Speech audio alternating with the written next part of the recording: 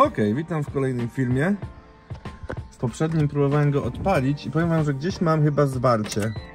Patrzcie, w ogóle jak e, ten turbo timer, to muszę wyjebać. W ogóle znalazłem taką stronę, robią e, karbonową, można deskę kupić, tylko nie ma otworu na zegary, bo to jest taka offroadowa. Znaczy, zawsze można sobie wyciąć i wsadzić takie e, wyświetlacz po prostu. Robią tak, tą poduszkę, wiecie, tam się odkleja od góry, można to też zrobić. Ale patrzcie, mamy radio i na przykład zaświecę to, w ogóle napięcie 9,9, spada mi napięcie, a jest podpięta ładowarka, a, a ten... Właśnie mi się muzyka włączyła, 10 V i patrzcie, za- zapalam światła i radio gaśnie. Gdzieś mam, kurde, jakieś zwarcie mi się zrobiło. Nie mam pojęcia gdzie. Także też będziemy szukać. O, także tyle chciałem powiedzieć i biorę się, biorę się za robotę. O, szukałem gdzie te poduszki pod silnik idą, bo tak, jedna jest tu, druga jest tutaj, trzecia jest tu na skrzyni, a czwarta jest gdzieś z tyłu. Ta. To jest gdzieś z tyłu i ja nie wiem, czy ja teraz będę miał dojście tam. Może od spodu jakoś? Co to, czy to jest to? Tak, to to. Hu. Jedna wielka rdza, widzicie ją tam? To będzie to. No, może od dołu jakoś dojdę. Kurde, w tym aucie będzie wszystko nowe. Tylko teraz gdzie to zwarcie, co mi robi? Co mi robi zwarcie? Jak wczoraj mi nic nie robiło. Jedyne co, to jak wyciągałem kabel z OBD, bo to OBD też jest tak chujowo zrobione. O, lata sobie luźno.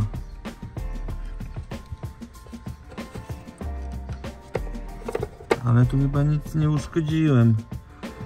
Zobaczymy jak się podepniemy. Nie mam pojęcia gdzie mogę mieć. Co tu może nie działać. To będzie, to będzie ciekawa naprawa. Bo nie mam pojęcia nawet gdzie szukać. Dobra, ale tu muszę jakoś wycelować. Kurde, to jest przerąbane. Uwierzcie mi, wczoraj tu chyba z dwie godziny spędziłem nad tym, żeby tą śrubę wepchać w gwint i sobie podnośnikiem podnoszę silnik do góry.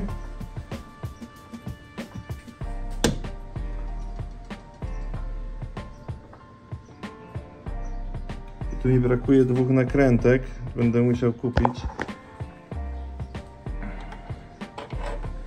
No, ta śruba wychodzi, ale ją włożyć to już nie jest takie proste. Żeby to akurat do dziurki trafić. Ciężko, ciężko się trafia do dziurki. Dobra, wyciągnąłem ten e, sensor. To jest winowajca zamieszania. No, zwarcie nie jest od tego sensora, od niego był kod. Oj no, fokus tak kiepsko łapie. A ciur z tym. Zamówiłem nowy.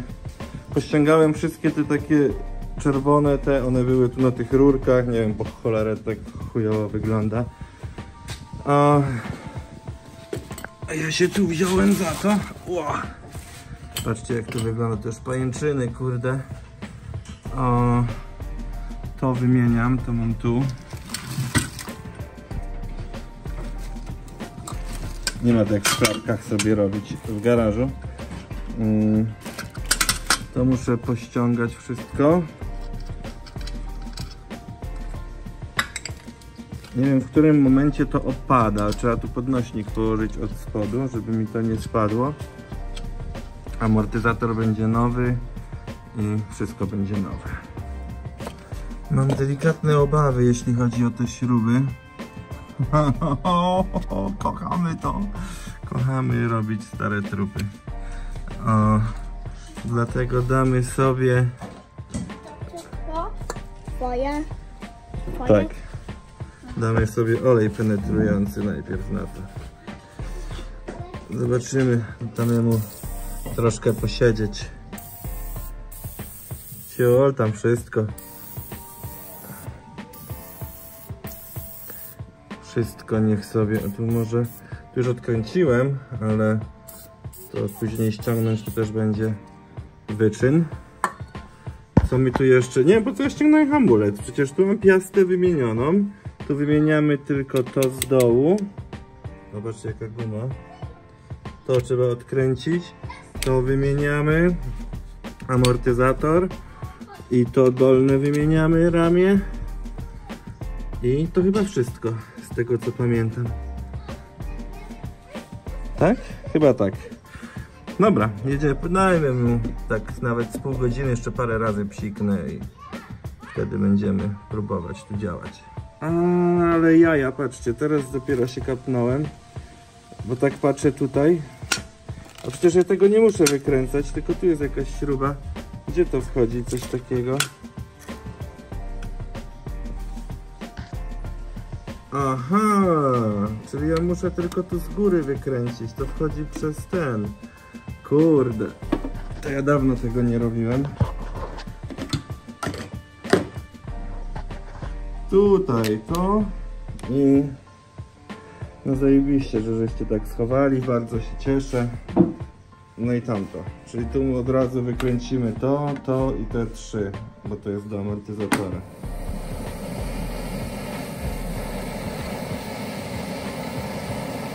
Fajerwerki!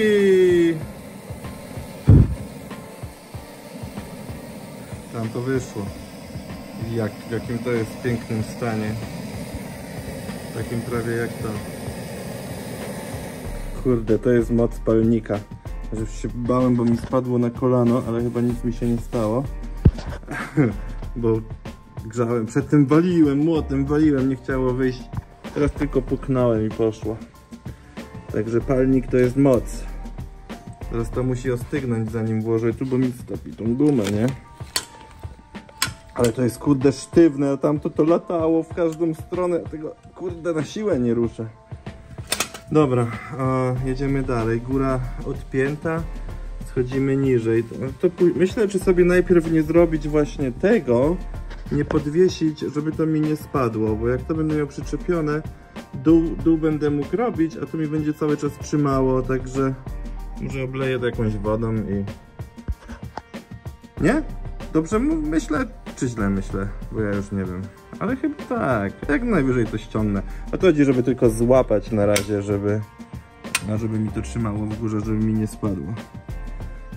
Bo jak chyba amortyzator... Nie, co mi tu trzyma? Nie wiem, wiem, że to może wszystko jebnąć na dół.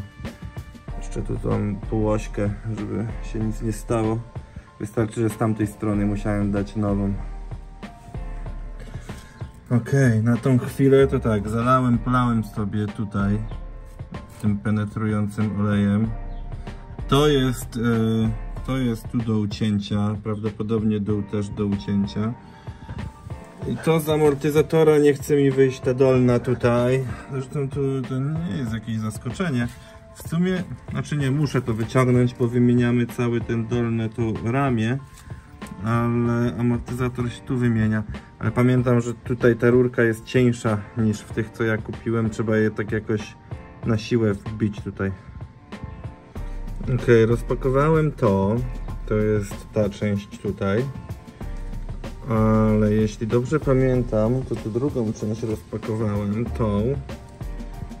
I to chyba idzie tutaj. Kurde, nie jestem pewny, ale chyba tak mi się wydaje. I to powinno wejść nam tu.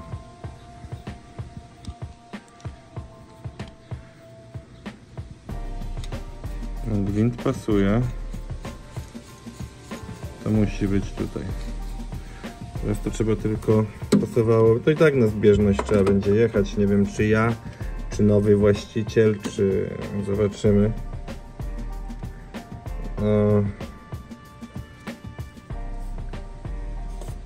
O, miałem odpowiedzieć na pytanie, bo właśnie w poprzednim filmie było. Czy są ludzie chętni? Powiem wam tak, takie auto nie będzie łatwo sprzedać. Po pierwsze, to jest stare auto. Po drugie, to jest bardzo małe auto. Po trzecie, to jest biegowe auto, co już bardzo nam zawęża krąg kupujących, zwłaszcza w tym kraju. Po prostu nie, ktoś myślę, że się trafi. Jest dużo ludzi, którzy ch- chcą. To auto, kurde, jak ja bym go potrzymał jeszcze z 10 lat tu w tym garażu, to było warte 3 razy tyle co teraz. I czy wezmę? No tak, y, wezmę więcej na pewno za, kurde, za to wszystko. Tu będzie wszystko nowe. Całe zawieszenie jest nowe. Całe zawieszenie. Silnik, uszczelka pod głowicą, poduszki, zawory, kurde, kable, nie kable, rurki wszystkie od wody. Turbo jest przetkane, bo było zapchane przecież. E, kurwa, tu jest. jest wszystko nowe. To auto to. To auto, no, że nie wszystko jest perfekcyjnie zrobione tak, jakbym chciał i.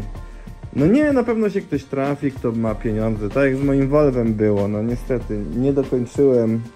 Nie chciało mi się jeździć już i po prostu po 12 latach jazdy powiedziałem dość, chcę coś innego. Czy żałuję? Z tego co widzę, tak samo bym jeździł, jak i teraz kurwa pracuję. Także wszyscy narzekają teraz e, w biznesie, także widzicie, jakby ciężarówki jeździły, ja też bym miał klientów.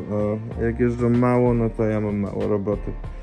Także na pewno wiecie, e, myślę, że na nim powinienem jakieś 2-3 tysiące zarobić, tak dla mnie, na czysto, ale to zobaczymy jak się sprzeda. Wezmę, wejdę sobie tam te wszystkie moje strony, poprzeglądamy, co kupiłem, za ile i, i, i ten, no, nie chciałbym go sprzedawać, ale, no, ale muszę, no nic nie zrobię, sorry.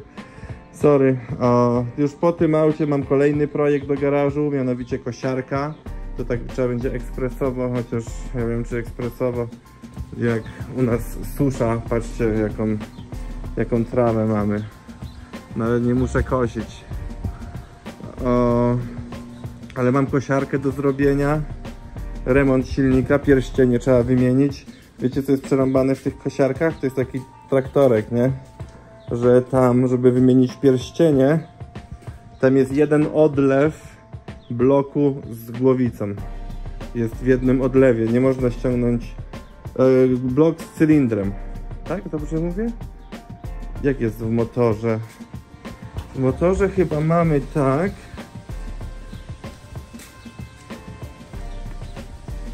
O tak, ściągamy głowicę, ściągamy cylinder, wymieniamy pierścienie, zakładamy cylinder. W kosiarce jest to tak zrobione, że to mamy w jednym odlewie. Żeby wymienić pierścienie, trzeba rozbebeszyć cały silnik, wyciągnąć korbę i wyciągnąć tłok w drugą stronę. Przerąbane. Przerąbane w chuj roboty. No ale, ale nic, zrobię, będę miał fajną kosiarkę. No a później chciałbym, no czy żona już mnie wyzywa, że za dużo mówię na YouTubie, opowiadam o swoich planach, a później nic z tego. No ale czemu mam nie mówić? Chciałbym się zająć takim właśnie kupowaniem samochodów, czy to od kogoś, czasem można zarobić, ale z aukcji myślałem, żeby kupować samochody, robić ile jest w mojej mocy.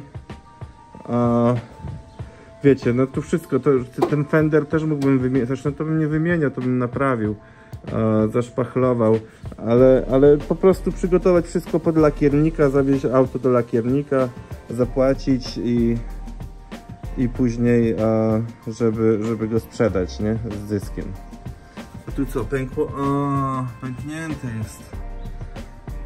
No nic, ja już tego nie wymieniam. Nie, nie ma takiej opcji. A... No, także tyle chciałem powiedzieć. Mówię, powinienem na nim teoretycznie zarobić. Jak będzie, nie wiadomo. Mówię, to jest specyficzny samochód, nie dla każdego. Po prostu musi się trafić ktoś, kto akurat takiego szuka. Ale jak będzie na chodzie, to myślę, że się sprzeda. I, i ten, powinno być dobrze. Dobra, także ja jadę dalej. Nie wiem co tu już zapomniałem co miałem robić. O to chyba miałem ściągać. O, zaraz się widzimy, pokażę jak mi idzie.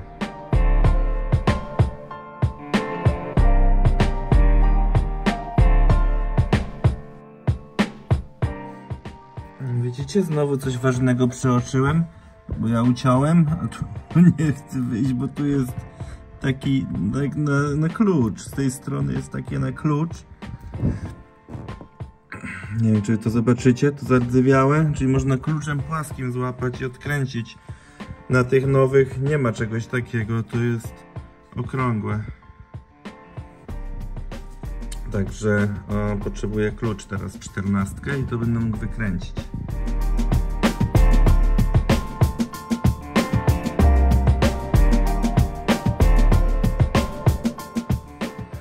Dobra, nie mamy amortyzatora. Fuh, tu jest nowy. Ale jest piękny. Tylko wiem, że z tym był problem, żeby tu go włożyć. Dlatego to trzeba ściągnąć tak czy siak. Ale to już jest troszkę lżej tutaj, bo nie ma amortyzatora. Dobra, jedziemy dalej z tym koksem. Następny. Ok, zacząłem tu śrubę wykręcać od tego, co tu idzie.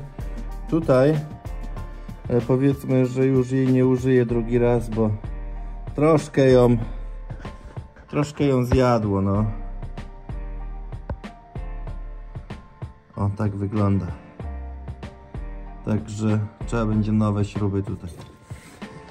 Ej, to jest przerąbane. To nie chce wyjść, trzeba grzać.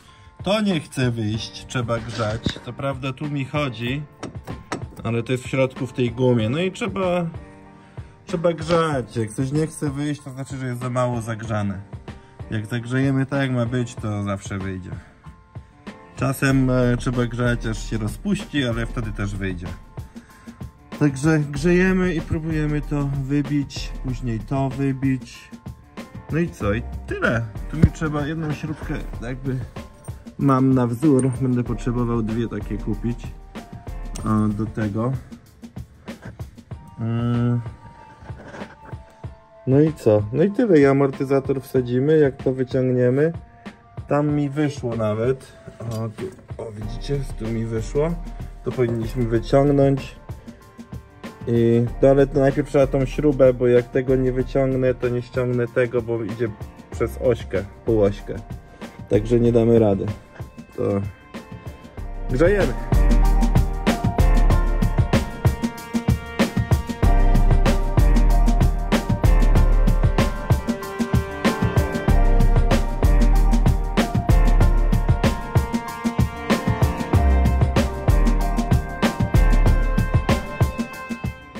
Fuh, udało się to odciąć. Teraz czy mi to wyjdzie, bo tu nawet nie ma jak młotkiem uderzyć w to, wiecie? Dlatego to wyciąłem. Mm, Jak nie będzie chciało wyjść, to najwyżej może tym takim... Mam taki wyciskacz. nie pamiętam jak to się nazywa. E, Damy radę. Musiałem iść zobaczyć z drugiej strony jak jest. Zaraz wam pokażę w czym jest problem. W ogóle zepsuła mi się przechodka. Kurde, Craftsman. Nie chce się ten... Mi obrać zacięła się. Tu nie mogę zmienić. Dożywotnia gwarancja. Oddam dazą minową. Mm.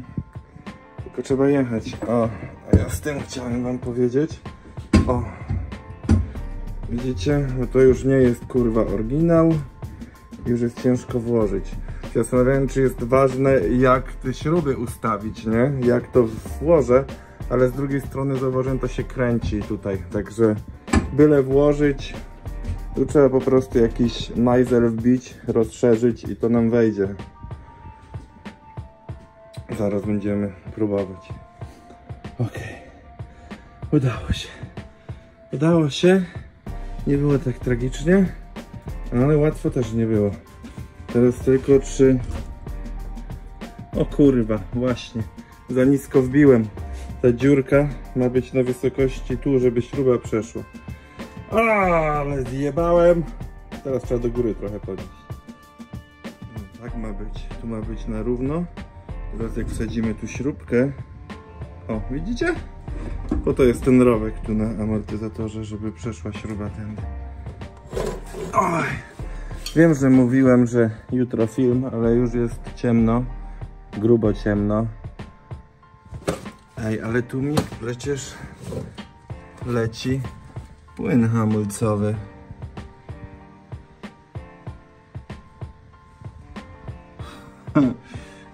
Czy ja coś pryskałem? Nie, może z dziury kapać. Bo ja tam zalałem. Przecież hamulców nie używałem. To jakbym miało kapać. Tam lałem penetratorem i pewnie skapał. O, ale nie wyrobię się dzisiaj. O, muszę popatrzeć na mój stary film, jak ja wymieniłem ten drążek tutaj. Jak tego buta ściągnąć i założyć. No i to będę musiał jeszcze kupić i wymienić. No nie zostawię tego tak. No, no nie, nie, nie, sorry, ale nie mogę. Nawet jak miałbym go sprzedać, to czegoś takiego zostawić nie mogę. Muszę to zrobić. No chyba, że nie będą mieli albo, albo coś. Ale na tą chwilę prawie wszystko wyciągnąłem. Zostało mi tylko to i tutaj mi zostało, o właśnie nie mogę tego uciętego wygrzebać. Oj. Także na dzisiaj na dzisiaj kończymy. A resztę będę jutro grzebał dalej. Ale rozpierdol zrobiłem. No ale już prawie wszystko wyciągnięte. Ja nie wiem, na warsztacie, ile za taką robotę. No jakby to... Jakby to wszystko się odkręcało, to jest kurwa godzina roboty, ale to co tu trzeba przejść, żeby to pościągać, to jest, widzicie, cały dzień roboty. No cały dzień nie robiłem, ale, ale tak gdzieś wyjdzie. Myślę, że, że cały dzień wyjdzie. Dobra, zamykam mój burdel i kończę na dzisiaj. Także do jutra.